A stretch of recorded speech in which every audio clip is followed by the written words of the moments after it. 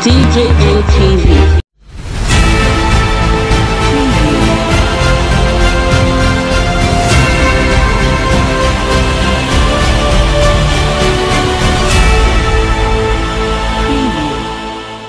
guys, welcome to DJM TV Daily News Update, your one-stop channel for everything news and gist happening all over the world. Good morning, good afternoon, good evening, depending on the time this video got to you. And if this is your first time of seen any of our videos, please don't forget to go a step further, like, share, subscribe, and turn on the notification bell. So you'll be one of the first persons to know whenever we drop a new video. Now let's take you straight up to the main news. Obaseki says only Atiku can save Nigeria. Plus, we must put together a new leadership structure to secure the North, says Atiku, as your unfriendly policy shall be rejected in 2022, says NLC. Hi guys, it is still DJ MTV Daily News Updates. Godwin Obaseki, the governor of Edo State, has said that only the People's Democratic Party can rescue Nigeria and place it on the path of economic prosperity and sustainable development. Mr. Obaseki made this clear when he received members of the Atiku support group led by Chief Raymond Dokpesi on a courtesy visit to the government house in Benin City. Governor who bought into the River State counterpart Nyesom Wike's idea in Port Harcourt accused the federal government led by President Muhammadu Buhari of taking the country 20 years backward.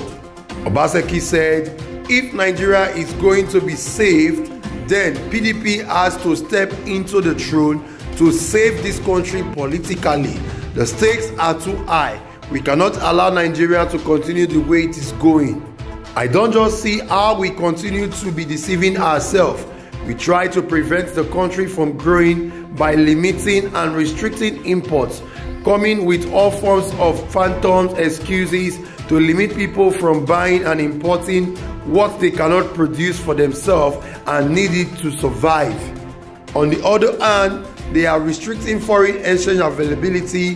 They are just throwing millions of Nigerians into abject poverty. Obaseki described Atiku as a Nigeria committed to the country, saying his achievements are visible.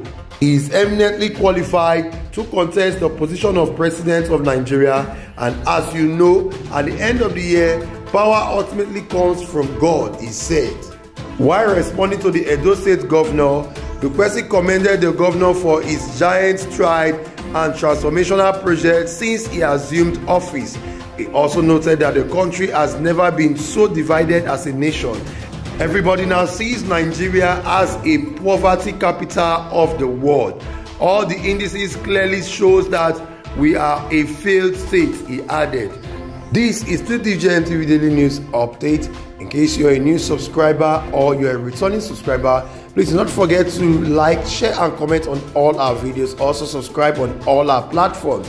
Let's take you back into the news. Former Vice President and the People's Democratic Party PDP presidential candidate in the general election of 2019, Alhaji Atiku Abubakar, has said that the northern part of the country was bleeding with insecurity that is caused by bad governance, but that a new direction of leadership was required to safeguard the lives and properties in that part of the country. Alhaji Atiku Abubakar compared the insecurity in the country to what he described as the bad attitude of the leaders in the north and therefore challenged them to tackle the endless bloodshed in the region.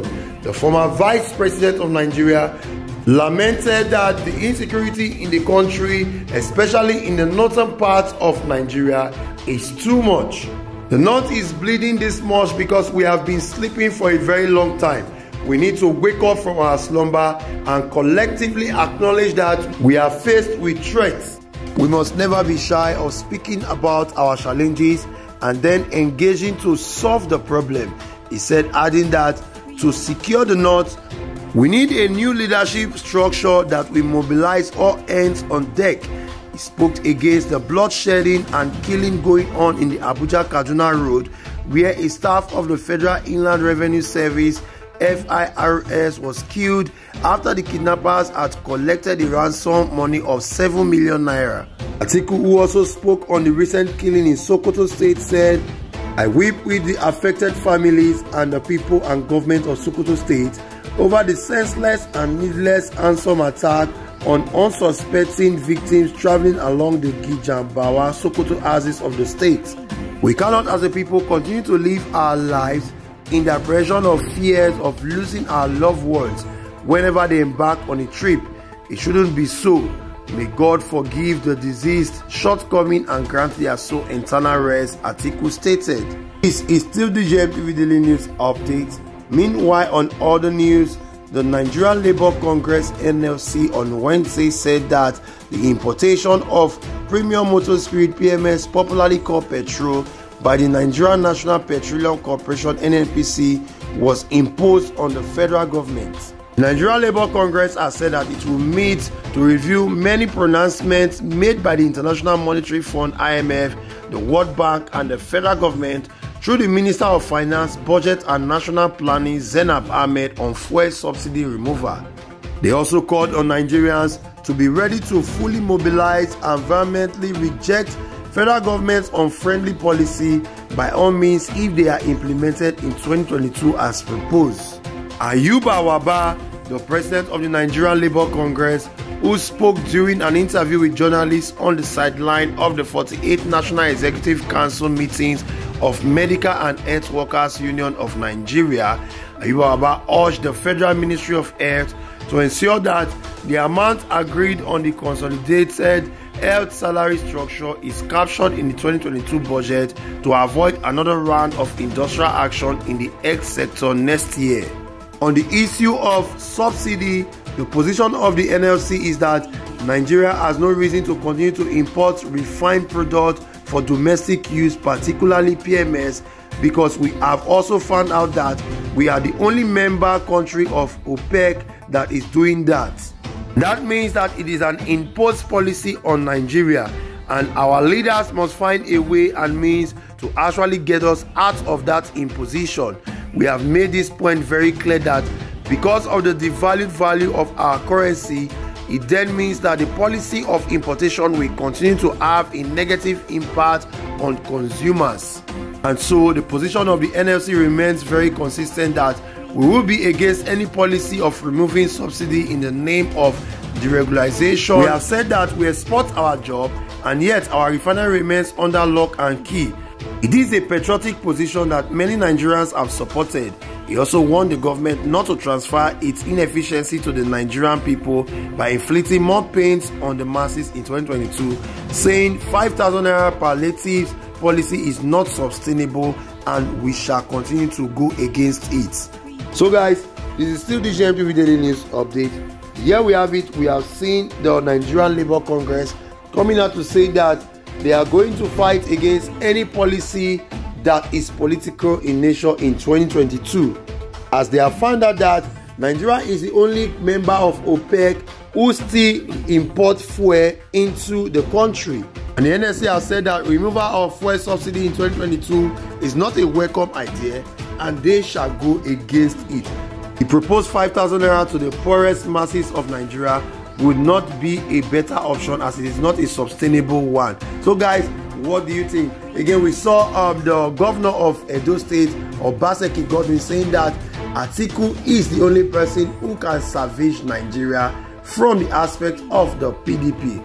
And also, we saw Atiku coming out to say that they not need a new leadership structure in order to save the North from bloodshedding. So, guys, what do you think about what Atiku has just said concerning the new leadership structure of the North? And also, um, Godwin Obaseki is saying that Atiku is the best person for the job come 2023. Drop your comment and talk with us in the comment section below. Welcome back. Thank you so much for staying with us end of this video. But before we go, we just want to let you know that we're also on Facebook and on Instagram at DJMTV. Also check out our website at www.djmtv.news. There we drop news 247 non-stop. Do not forget that you could also place your advert with us here on DJMTV News and be rest assured that your business will get to the desired market. Well, so we'll come your way again with another edition of DJM TV Daily News Update. I remain your host, Laura Favor. Yeah.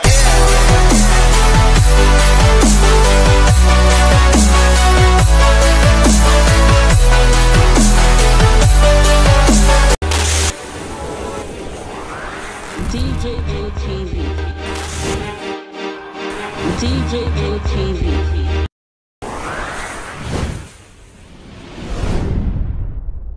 Fulani people don't say no, they don't like us. Welcome to DJM TV. DJ ATV. DJ ATV. DJ ATV. DJ ATV. Some of the delegates and ask them questions. DJ ATV.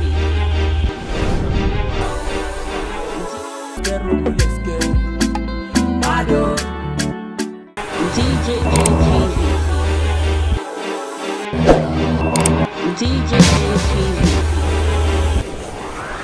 DJ ATV.